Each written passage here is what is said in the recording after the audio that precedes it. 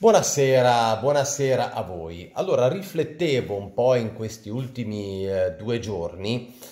che eh, in fondo noi, e quando dico noi parlo degli youtuber, quelli che insomma eh, vi parlano mm, dal loro canale, che magari vi parlano da Facebook, insomma che parlano eh, in generale su queste eh, piattaforme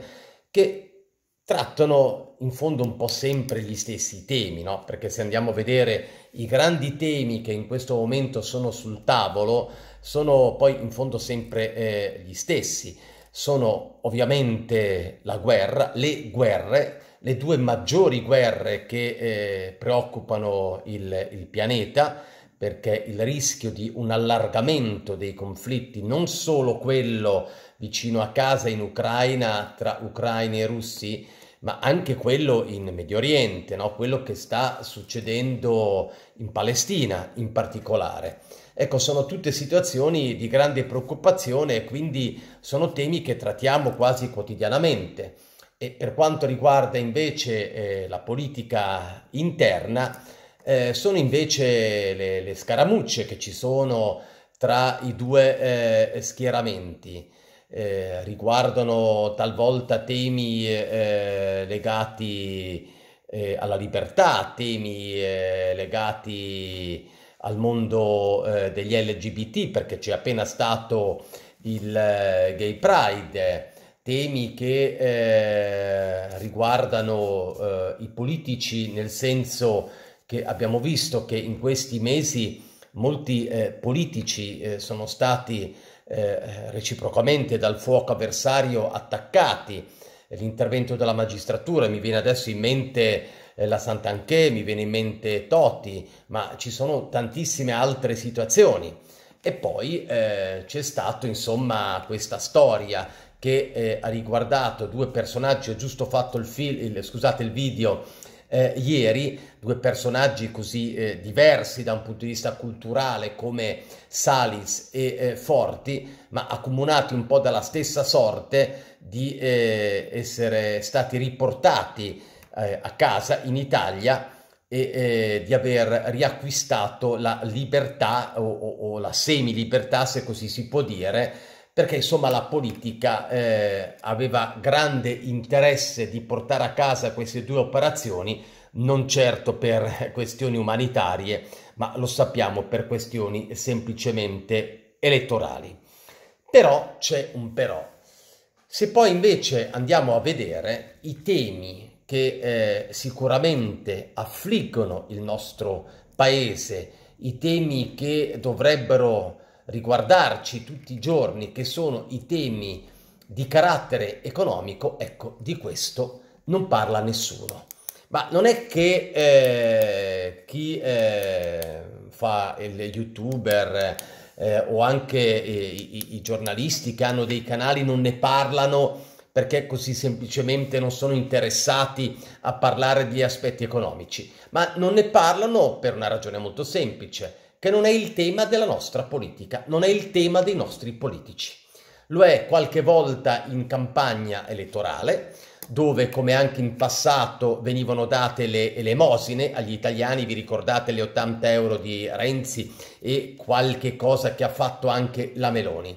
oppure intavolare grandi discussioni che io sento ormai da vent'anni per quanto riguarda il salario minimo, ma appena le elezioni sono passate va nel dimenticatoio, come quello, perché anche quella è economia, tutta quella che riguarda le nostre tasche, ad esempio del caro benzina, tema tanto caro o uno dei temi cari alla Meloni durante la campagna elettorale dove aveva fatto certe promesse, poi una volta che sono eletti, una volta che non ci sono più ele- le elezioni, se ne dimenticano ampiamente. E questo è un fatto, eh, da un lato, estremamente preoccupante e dall'altro ci deve anche fare eh, riflettere, perché ci sono alcuni dati macroeconomici che continuano a dimostrare che il nostro paese sta sempre più scivolando verso la povertà, ci sono dati che ci dicono che noi siamo, per quanto riguarda gli stipendi, uno dei paesi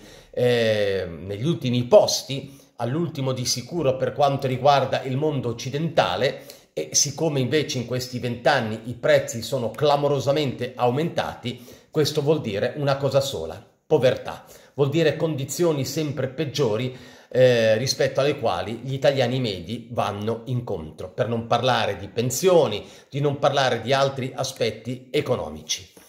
La cosa che poi eh, va anche sottolineata, che però anche eh, coloro che dovrebbero in qualche modo impegnarsi, quello che sarebbe il loro compito per eccellenza, cioè i sindacati, sembra veramente che siano spariti dalla faccia della terra per quanto riguarda l'Italia. In fondo era preventivabile perché eh, la, la, i sindacati sono sempre stato, voglio dire, così eh, un, una costola della, de, de, de, della sinistra e quando eh, c'era maggior conflitto tra una parte e l'altra parte politica, magari si presentavano anche in piazza come negli anni 70-80 quando io ero ragazzo. Adesso che ormai è tutt'uno e l'abbiamo sempre detto, i sindacati non hanno più quasi ragione d'essere e tra l'altro quello che potrebbero fare, che dovrebbero fare, dibattersi per eh, le politiche economiche, per il lavoro, eh, non si sentono, sono assenti. Ed è purtroppo, questo lo devo dire, assente anche tutto quel mondo eh, che si è creato, che è nato, eh, quel mondo che si chiama il mondo del dissenso. Sembra che eh, una volta finito il Covid non ci siano più altri temi che li riguardano e questo è un fatto triste, un fatto preoccupante perché invece dovrebbe essere un tema molto importante, perché se la libertà, la democrazia sono dei temi fondamentali della nostra esistenza,